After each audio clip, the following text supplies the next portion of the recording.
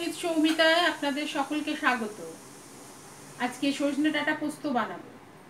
রেসিপিটা যদি আপনাদের ভালো লাগে লাইক শেয়ার করতে ভুলবেন না। নিত্য নতুন রেসিপি পেতে আমার চ্যানেলটি সাবস্ক্রাইব করুন। তাহলে চলুন, সজনে ডাটা পোস্ত বানিয়ে ফেলা যাক। ডাটা পোস্ত বানানোর উপকরণগুলি দেখে নিই, চলুন। এখানে আমি সজনে ডাটা নিয়েছি, যেটা কেটে পরিষ্কার করে এইরকম সাইজ করে কেটে রেখেছি। আর একটা বড় মাপের আলু এইভাবে লম্বা লম্বা করে কেটে রেখেছি, ঠিক ডাটার মতোই সাইজ করে। আর লঙ্কা কাঁচা লঙ্কা বাটা, হলুদ গুঁড়ো, পোস্ত বাটা, নুন, ফোড়নের জন্য লাগবে একটা শুকনো লঙ্কা আর একটু হাফ চামচ পাঁচ ফোড়ন। আর কাঁচা লঙ্কা রেখেছি চারটে, আর রান্নাটা হবে সর্ষের তেলে। ডাটা পোস্ত শুরু করার জন্য আমি প্রথমে সর্ষের তেল দিয়েছি কড়াইয়ের মধ্যে। এবার তেলটা একটু গরম হলে এর মধ্যে পাঁচ ফোড়নটা দিয়ে দেবো।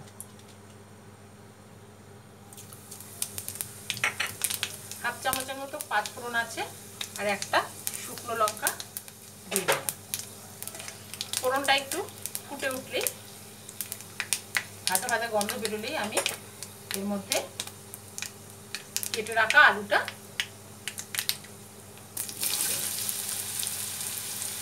দিয়ে একটু নেড়ে করে অল্প করে ভেজে নেব। এবার এর মধ্যে সজনে ডাটাগুলো দিয়ে অল্প করে তেলের মধ্যে নেড়ে চেড়ে নিয়ে পোস্ত করতে বেশি উপকরণ লাগে না। খুব সহজেই হয়ে যায়। বাঙালিরা পোস্ত খেতে আমরা মোটামুটি সবাই অভ্যস্ত এবং খুবই ভালোবাসি। এবার এটার মধ্যে অল্প একটু হলুদ দিয়ে দিলাম। হলুদটা দিয়ে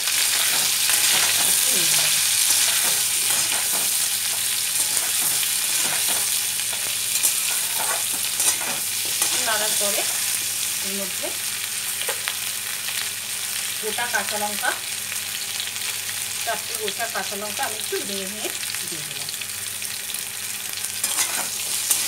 ডাটা পোস্ত একটু ঝাল ঝাল হলে খেতে ভালো লাগবে। আর এর মধ্যে দেব। অল্প একটু কাঁচা লঙ্কা বাটা।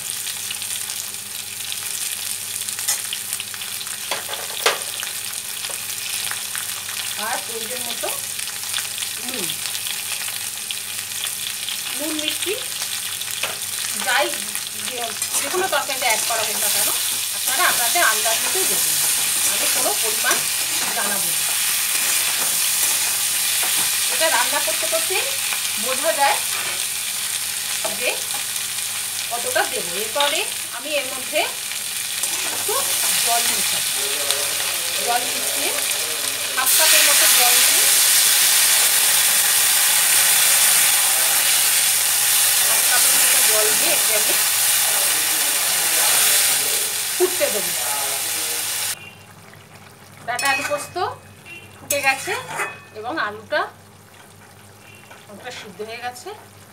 ডাটাটা একটু হবে। পোস্তটা মেশাতে মেশাতেই এই সময়ের মধ্যেই তরকারিটা পুরো কমপ্লিট হয়ে যাবে। এবার এর মধ্যে পোস্ত বাটাটা দিয়ে দিলাম। পোস্ত বাটাটা দিয়ে আমি সমস্তভাবে মিশিয়ে দেবো তরকারির মধ্যে। আর একটু হতে দেবো, ব্যাস, এর মধ্যেই ডাটাটাও নরম হয়ে যাবে। ডাটা আলু পোস্ত, বেশ মাখা মাখা বা মাখা মাখা আর এই পাঁচ ফোড়নটা ফোড়নের মধ্যে দেবেন অবশ্যই এর গন্ধটা, এই পোস্তটাকে স্বাদটা আরও বাড়িয়ে দেবে। দু মিনিট এইভাবে আর কম আছে। বসিয়ে রেখে এরকম গা মাখা মাখা হলেই আমি পোস্তটা আমি পরিবেশন করে দেবো পোস্ত হয়ে গেছে। ডাটা পোস্ত তৈরি হয়ে গেছে। এটা গরম গরম ভাতের সঙ্গে পরিবেশন করুন। খেতে খুব ভালো লাগবে। আশা করি আর আপনাদের মতামত জানাবেন। আর নিত্য নতুন রেসিপি পেতে আমার চ্যানেলটি সাবস্ক্রাইব করুন। ধন্যবাদ।